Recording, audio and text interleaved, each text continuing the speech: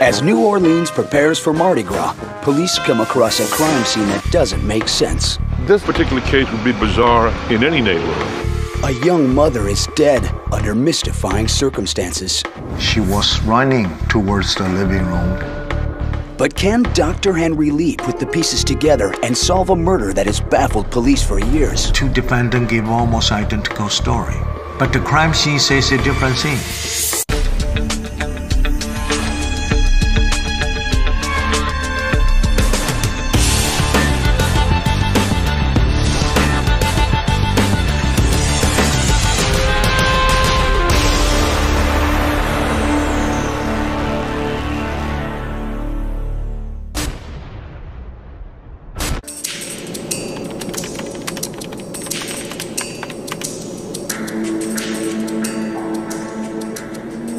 This murder is stay with me even now.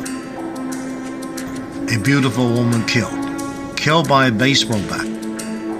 A difficult case. It did not make sense. I remember it was Mardi Gras in New Orleans. That should be a happy time.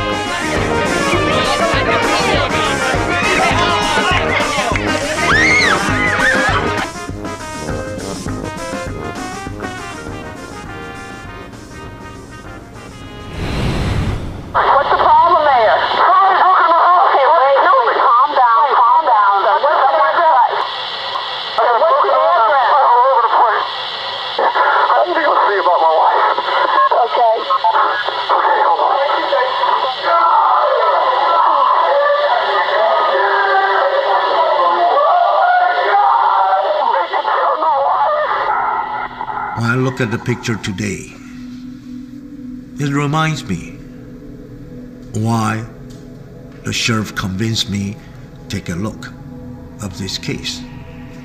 I can't stop thinking. A beautiful family.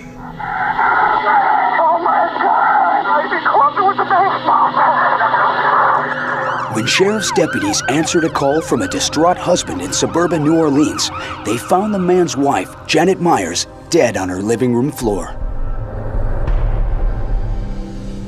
As you see, this is just an, an horrific scene. Um, this had to be an, an unbelievably nightmarish event. The dead woman's husband, Kerry, was injured. An infant daughter, Sarah, was unharmed. But a two year old son, Ryan, was found unconscious. My husband answered the phone, and they said that um, someone had broken into Kerry's house and that Janet was dead and Ryan was injured. Kerry told police Janet had been killed by his best friend, Bill Fontanille. Police found Fontanille at a hospital being treated for stab wounds. Kerry himself was taken to another hospital with a broken arm and cuts on his head. I decided I had to go to the hospital to hear Kerry tell me that, uh, you know, Billy had killed Janet and beat him with a bat, broken his arm, and Kerry had he had a broken arm and he had stab wounds, and you know, I believed what Kerry was saying. Kerry Myers had his version of what happened, but the prime suspect, Bill Fontanille, told investigators a different story. The first thing that he said to the police when he went to the emergency room at West Jefferson Hospital, they had a security detail there.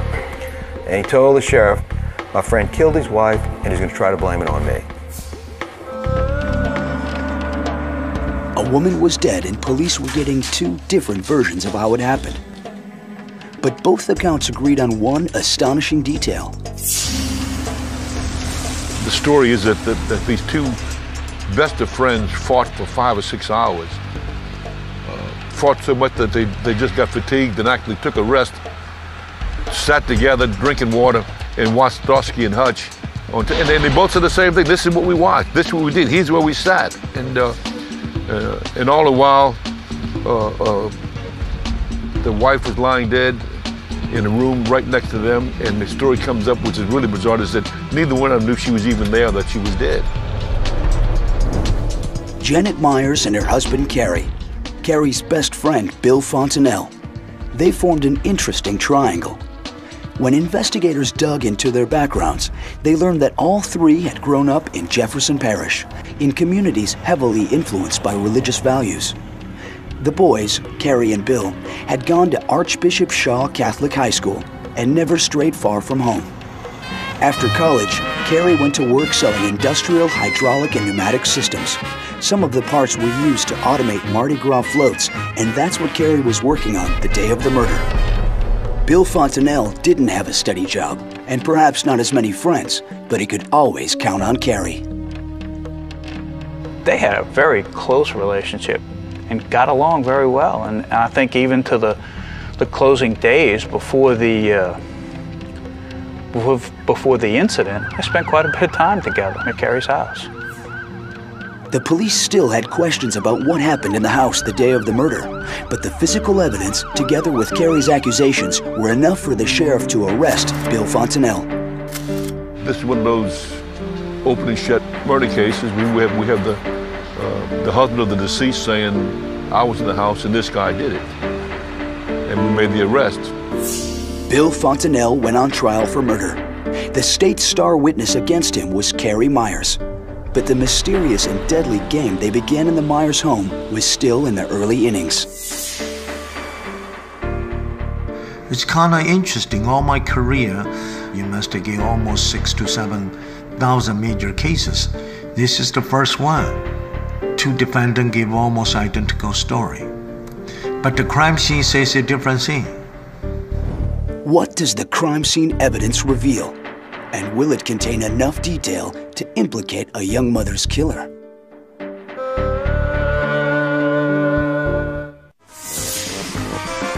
In New Orleans in Mardi Gras season, across the river in Jefferson Parish, in a middle class suburban neighborhood, sheriff's detectives were investigating the murder of Janet Myers. Two men were in the house when she died her husband Kerry and his best friend Bill. Both men had knife wounds. Kerry also had a broken arm from being hit, according to Kerry, with the same baseball bat that Bill Fontanille used to kill Janet. Police arrested Fontanille for murder. There was probably no reason to disbelieve um, Myers. Kerry is kind of a family type person, home type person. Kerry's family still couldn't make sense of the events surrounding Janet's death. They only knew that Bill Fontanille was in jail awaiting trial and that he continued to insist Kerry had set him up.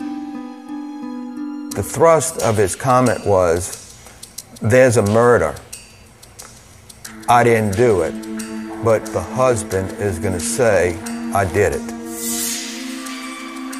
I had never seen Billy do anything violent, never seen Billy show anger. Billy was the one that was always calm out at the ball games. Uh, Billy was the one that kneeled and crossed himself uh, before taking the bat. So, yeah, to hear that, well, Billy went over there and for no reason uh, bashed Janet's head in with a baseball bat and killed her, uh, tried to kill Ryan, tried to kill Kerry, uh, made no sense. But when investigators dug deeper, they discovered that Bill Fontanille had shown fits of anger during a recent divorce. A fit of rage, he, he had tore some of the, um, not appliances, but uh, like the toilet uh, sink away from the, uh, away from his residence and um, just showing, um, uh, beating uh, the porcelain with hammers and all. He, he did have a temper. Bill Fontanille had just lost a custody battle with his ex-wife. Was he angry when he went to Kerry's house that day? Both men agreed they'd fought for hours with occasional rest breaks, and both claimed they never noticed Janet's body lying in the next room. Two friends sat in a house, um, both damaged, hurt, bloody, beaten, and claiming that the other one attacked them. But then they sat there for the next, I think, eight hours and just talked. Each one saying, We watched television. That didn't make any sense that you would sit there for several hours and not ask to check on the other people in the home Janet, Ryan, and infant Sarah. Prosecutors were still puzzled as the trial approached. The two men had no traces of alcohol or drugs that might explain their strange behavior. And why did Fontanille go to the Myers home in the first place? Was it to see Kerry, or was he there to see Janet?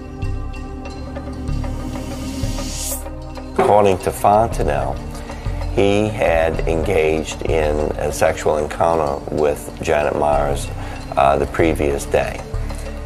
Allegedly, he was feeling um, remorse over that. So he was going back over to the house to tell her that he was going to break it off and also to retrieve his baseball bat, which was the murder weapon. At Bill Fontanille's trial, the jury found the evidence confusing at best. Was the accused man a killer or a scapegoat? The jury listened to the facts and, and uh, uh, we were not able to convince them with the physical evidence, and uh, they, they could not reach a decision. It was a hung jury. The jury deadlocked six to six, with no agreement on who did what to whom. Janet Myers' killer remained at large. And the two former best friends went on with their lives almost as if nothing had happened. Kerry had uh, moved back in with his parents. Billy had moved back in with his, and they were both in the same neighborhood where they had grown up. Kerry never really said anything negative about Billy other than sticking to his story that for no reason Billy attacked him when he walked in his own home and um, killed his wife. But I never saw anger. It was never like we had to hold Kerry back from going over there and beating the living, you know, what out of Billy. There was none of that went on. As Mardi Gras seasons came and went, prosecutors were troubled that Janet Myers' murder remained unsolved. We had done about as much as we could do uh, from a law enforcement perspective to try to put the case together. That we needed somebody to come in and bring some rhyme and reason to what took place on that scene. And that's how Dr. Lee ultimately got involved. Henry Lee, based in Connecticut, found himself on a plane again, flying to a crime scene. This time to New Orleans' West Bank, across the Mississippi River, and a couple of miles closer to Cajun country.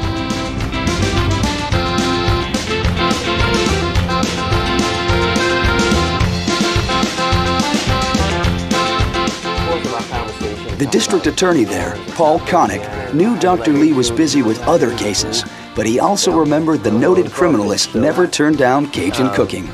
But I did too, as added incentive for you to take the case, if you remember what Right. I ordered 200 pounds of boiled crawfish Boiled, and, yeah. and sent them to you for you and your staff. Right, we had a crawfish party. Right. Yeah. I remember. Next morning, two thirds of my staff book sick. Oh God. I'm the only one survived, so I must have a tough stomach or something. Uh, of course, we ate the crawfish. We better do the case too. Dr. Lee started studying the crime scene photos. Someone was getting away with murder. Would Dr. Lee be able to reconstruct what happened that night and name Janet Myers' killer?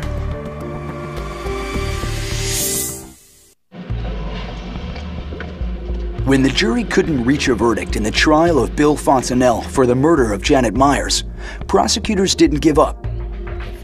They turned for help to criminalist Henry Lee. Here, approximately 250 individual blood drops. Those are so dropped from above? from above, exactly. In taking the case, Dr. Lee was renewing an old acquaintance, the top cop in Jefferson Parish, Louisiana for 24 years, a man of Chinese ancestry with a familiar last name, Sheriff Harry Lee.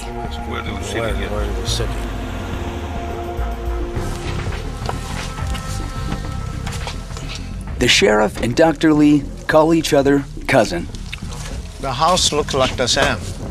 Yeah, the house is the same, but this uh, we just have a good working relationship, and, I, and I'm, I'm his greatest admirer. He, he, he's so smart. So what, uh, where? Dr. Lee's first order of business is to visit the crime scene. Uh, this is the location. Inside, the two men confronted the challenge of deciphering a confusing trail of blood. Feet towards that direction. A large amount of blood stain was on the carpet. Would they ever understand what had happened here? We see tremendous amount of blood spatter. Sheriff Department investigator did a wonderful job They took almost hundreds of uh, good photographs, document every part of the house. That's why I make this case possible to do a partial reconstruction. Dr. Lee found trails of minute blood spatter on the walls, floor, and furniture winding from room to room. This was the first step in reconstructing the crime scene. I was able to see hair and blood spatter on the bottom of the planter. Impact force create the blood and hair project onto this portion of the planter. The murder weapon seemed obvious. The blood-stained baseball bat found against the sofa in the family room. Yet Janet's body was found in the living room. Dr. Lee also saw other puzzling trace evidence in the kitchen, foyer, and hallway. This crime scene pretty complicated, involving five different areas. The physical evidence at the house may have been complex, but just as baffling were the different accounts given by the injured husband, Kerry Myers, and his friend, Bill Fontanille, where each man accused the other of attacking first. In his tape recorded statement, Fontanille said Myers stabbed him with a butcher knife. I said, Kerry, why are you doing this to me? He just said, I'm doing what I've got to do. He came at me again with the knife, and I started swinging the baseball bat. Uh, After studying the interviews of both Myers and Fontanille, Dr. Lee was able to reconstruct each man's version of the events on the night Janet was murdered. He was assisted by the head of the Connecticut Police Crime Lab, Tim Palmbach. Dr. Lee placed lab technician Sean Dolan in the exact position where deputies found the victim's body. According to Kerry Myers' statement to the detectives, that afternoon, about 3 3:30, he got home, opened the door, walked into this hallway. He saw a baseball bat at him. He quickly used his left hand, tried to block it. He felt the pain. Myers said he never saw his wife's body lying in plain sight in the living room. Attack the attack. In the foyer area, then into family room. Two of them struggle on the ground and fighting until they got so exhausted and tired, uh, they took a break, watching television, have a glass of uh, water, they watch at 7 o'clock a police show. After that, they resume the fighting again. They fight on the ground and beating each other until almost midnight. They don't want to miss Johnny Carson show. After the show finished, Meyer asked Fontanille, Where's my wife? Where's Janet? How's my kid? Fontanille say, They're fine. They're okay. Myers took a kitchen knife and he started stabbing him on the chest several times. Then in the back, chasing him away from the house. He ran away. Now he walked back to the kitchen, get the telephone, make a 911 phone call, and uh, he saw his wife's body lying in a pool of blood. He reported to the police. His wife been beat up and killed. He also give a suspect's names, Bill Fontanille. That's Kerry Myers' version. Deputies heard a similar scenario from Bill Fontanille, except that it begins not with Kerry showing up, but with Bill himself arriving.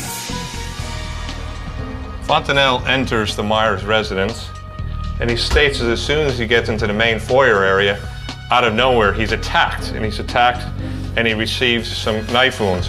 Fontanille also told deputies he didn't see Janet Myers lying on the living room floor. And this fight continues into the den area. Fontanille notices his baseball bat and sees it as an opportunity to defend himself from the impending knife assault. So he takes a blow and he comes hard into Kerry Myers' arm. After this point, the statements from the two men were almost identical, with Bill Fontanille also describing wrestling, pausing in front of the TV, and fighting again. When you read the statement and watching TV, it's almost comical. You, you think about it. One kid's in the bedroom, a baby in another bedroom, wife lying in the living room. Two year old Ryan was in a bedroom unconscious. He would recover completely. And deputies found infant Sarah on the floor of her room unharmed. Once again, Kerry grabs a knife. Bill realizes he has got to get out of here, so he's going to run from the door. He receives a few more stab wounds in the back, but is able to make it through the foyer and out the door.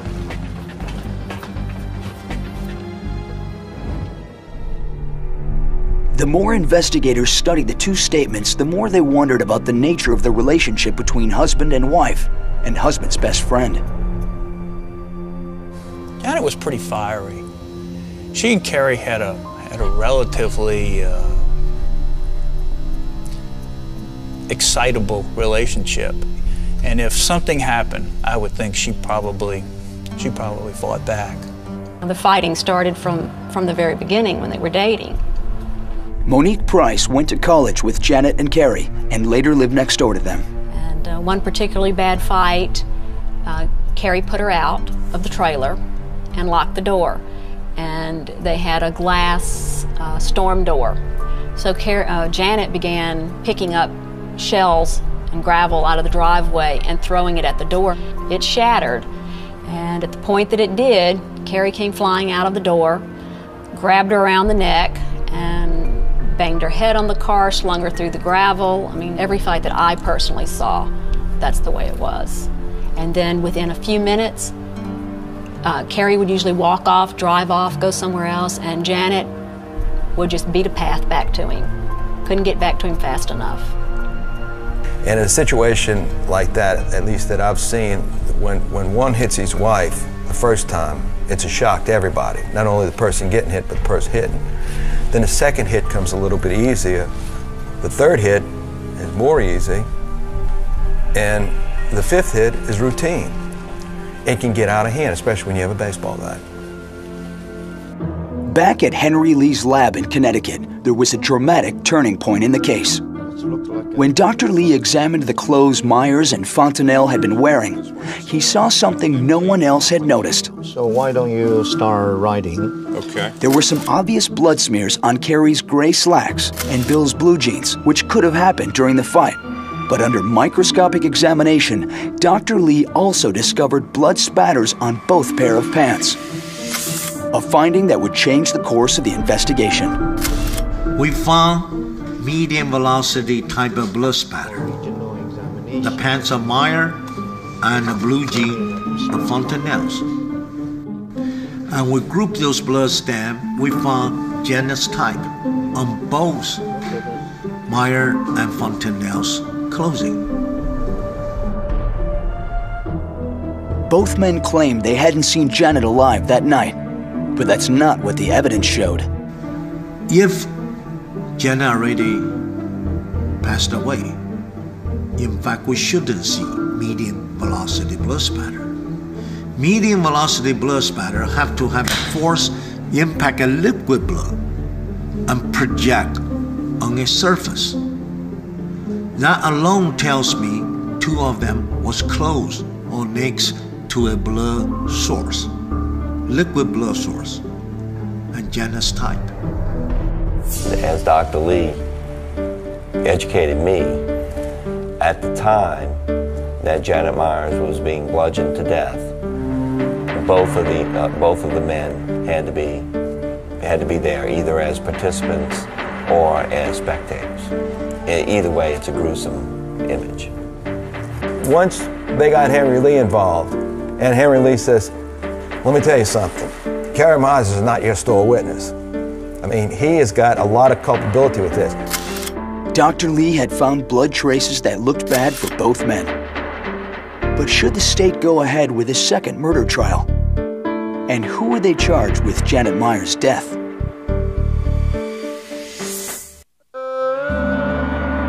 Investigators trying to sort out what happened the night Janet Myers was murdered now had help from Henry Lee. Towards the living room and uh, chasing her. And she was hit while she was standing? Yeah, first. Yeah. First. Them knocked down on the ground, hit more times.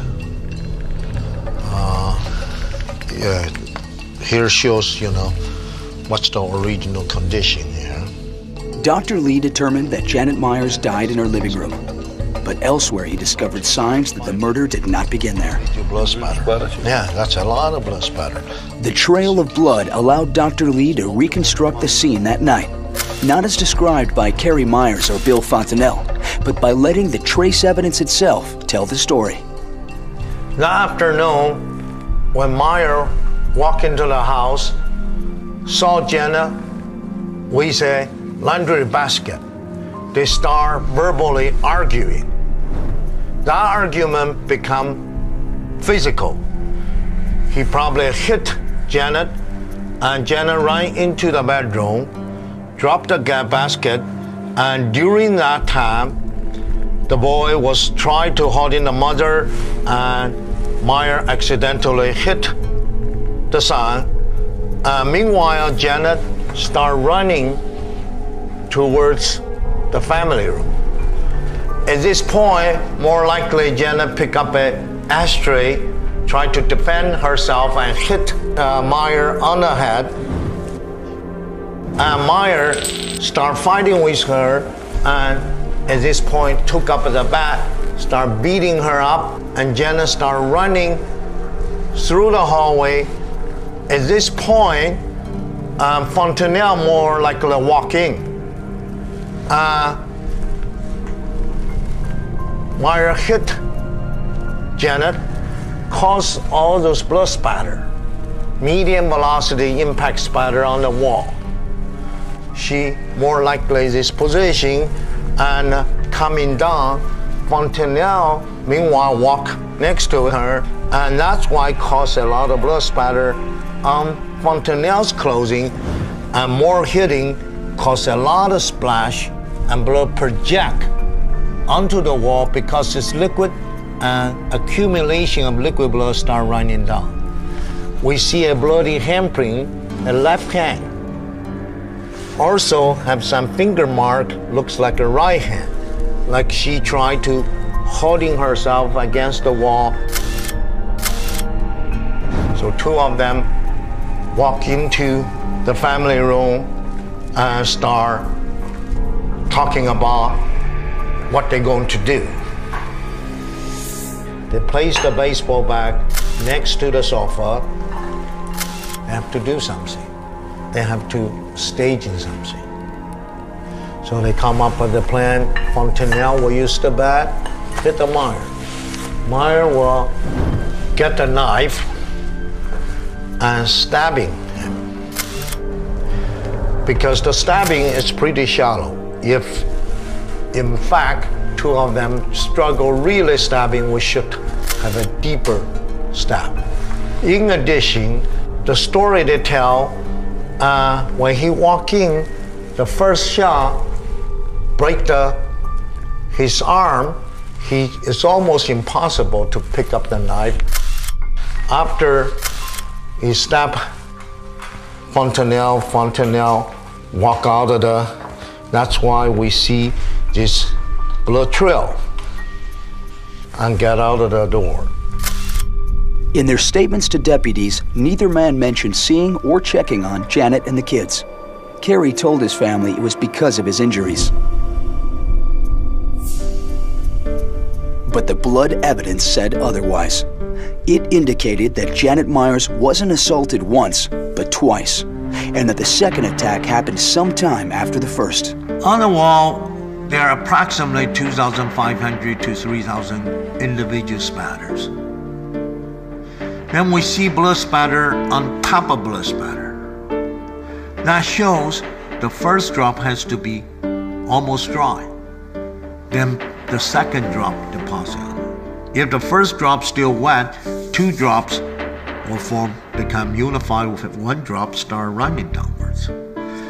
That's a indication shows their time segment between the first impact and the next impact. This blood evidence was conclusive that there was a bit of time when Janet was first assaulted against that living room wall, dropped down, bled out for a long period of time, and then a subsequent event came in. And that subsequent event was just yet another series of strikes. We later found out from the autopsy that Janet Myers actually dies of an air embolism uh, where, the, where air travels to her heart and kills her. So we have her on that living room floor for a very long period of time. So that's how you could spend 10 hours in a house and not call the police and not call for an ambulance. It's not because you're fighting for 10 hours. Everybody knows that's physically impossible. It's because you're trying to figure out a way to talk yourselves out of this incredible nightmare that they've gotten themselves involved in without being able to have somebody take the rap for it. Sheriff's investigators never examined the murder weapon for fingerprints. By the time Dr. Lee received the bat in his lab, many people had handled it. But there were other clues to show who might have wielded it the night of the murder. The location of the cast off bloodstains on the wall indicated where Janet's killer must have stood and which hand he used to swing the bat. To see the pattern, that's a forward spatter pattern. In order to get that alignment, to see the spatter and that forward projection of that cast off, that was a left-handed person who's swinging. As Dr. Lee did the analysis of the bloodstain evidence, there was a very clear left-handed cast-off pattern on the back of Kerry Myers' shirt.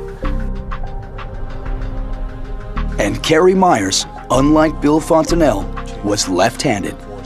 A lot of the, the police that we had involved, detectives involved in the case, all said the same thing. They looked at the photos. Uh, only a husband could do that. You know, only a husband could hate a woman that much. And two young children would be victims as well for the rest of their lives. This is the true tragedy. Son Ryan, only three years old. Their daughter Sarah, only a few weeks old. Two kids. This is a true tragedy. Dr. Lee thought he knew what had happened during the long hours on the night Janet Myers was murdered. But would the prosecution be able to lead a jury through the tangled web of evidence to allow it to reach a verdict?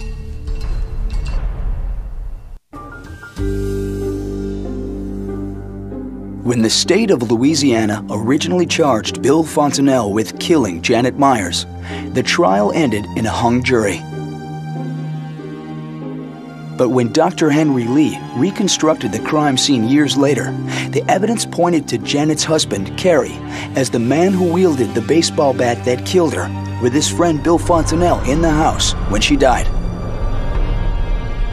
In a television news interview before he was indicted, sitting with his children Sarah and Ryan, Myers did not appear to be worried. It's limbo. It's like living in limbo. I mean, this is something we've waited for for a long time, just to see this, see justice. And then one day you leave your house, and six hours later you walk back in, and your whole life changes. Before the trial, Kerry made a critical decision. He declined his right to a trial by jury and chose to have his case heard by a judge alone. He did not think he would be convicted. We even tried to tell Kerry, you know, go with a jury, don't go with a judge. It'll turn out okay, you know, was his comment. It'll, it'll be all right. And that, that is the approach he took. It'll, it'll work out fine. Bill Fontanille chose a jury trial, so both he and Myers were tried together in the same courtroom. The judge heard the case against Myers, and the same judge and a jury heard the case against Fontanille. Including the forensic evidence that implicated both men.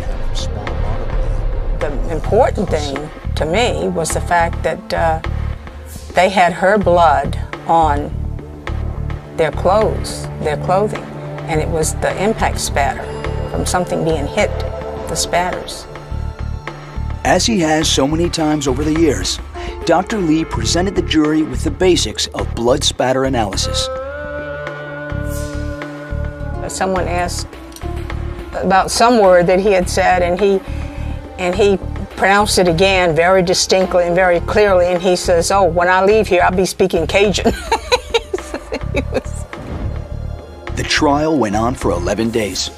For many jurors, the turning point came when the judge allowed the prosecution to take the jury to the crime scene.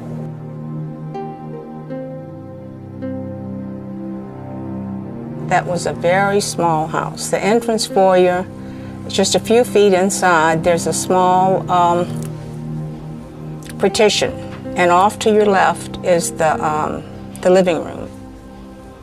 Walking around in that place, there's no way that they could not have seen that body, and they both said they didn't see the body. They didn't know, you know, each one of them said, Well, I didn't know she was in there.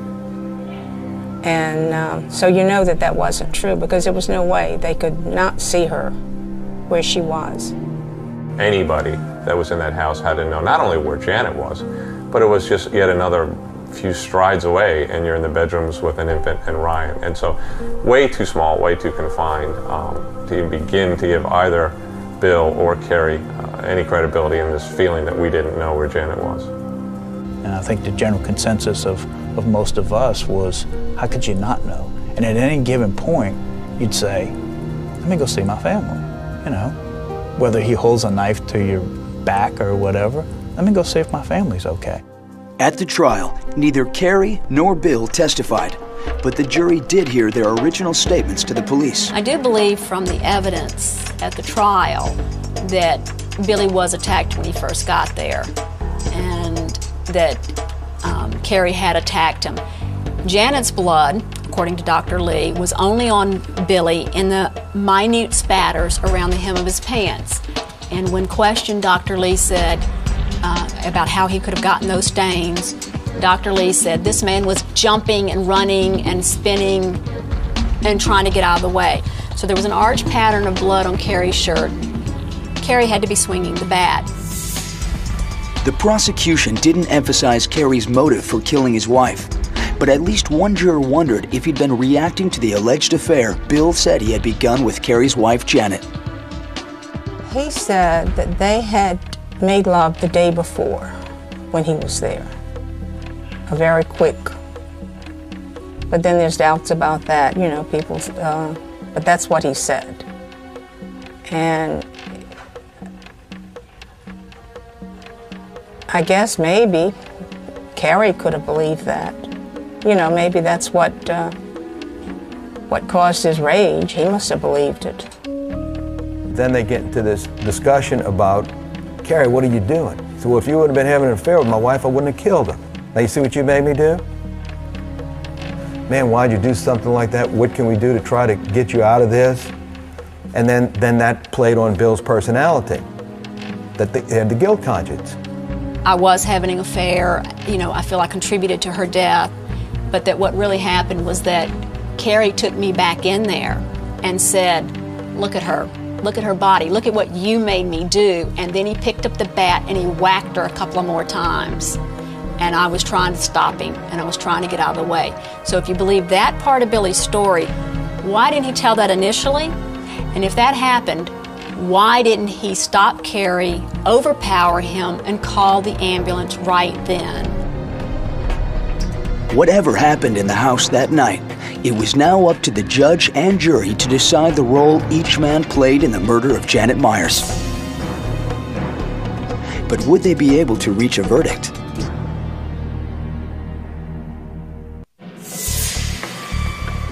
Media accounts of the trial called it the baseball bat murder, and it was big news. But the day finally came when it was up to the judge and jury to dispense justice. I couldn't sleep because I kept going over and over and over the case. I didn't know if I was right or not, but it just seemed to me the logical thing was that Kerry had actually done the, that swung the bat. Of course, I knew Fontanille was there, and therefore he was guilty. The jury was first to announce its verdict. They found Bill Fontanille guilty of manslaughter, which carried an automatic 21 year sentence. The judge then rendered his decision on Kerry Myers, guilty of murder in the second degree. Myers was sentenced to life without parole. And I was so relieved when the judge found Kerry Myers guilty. Then I thought even more that I had made the right decision. After listening to, to all the testimony, particularly Henry Lee's testimony, that the jury was convinced that Kerry had done it. But it became obvious that the reason why Bill got convicted of manslaughter, in my opinion, is because he had, he had not told the truth about knowing Janet was dead or even Janet was in the house. That's why the physical evidence was so crucial in solving the case. It's because physical evidence doesn't lie, physical evidence doesn't have a bias, uh, physical evidence doesn't exaggerate. Fortunately, Dr. Lee was able to come in and unravel a lot of things that uh, and actually do six or seven years later what we should have done initially. A group of friends who had been so close was separated forever, and it was never, never the same after that. You would always wonder, could someone have done something about it? Could things have been different? And you'll always wish that they had been. When I look at the Janet picture, I can't stop thinking. A beautiful family destroyed just by the temper, by some confrontation, some maybe minor differences. Why we don't learn from the history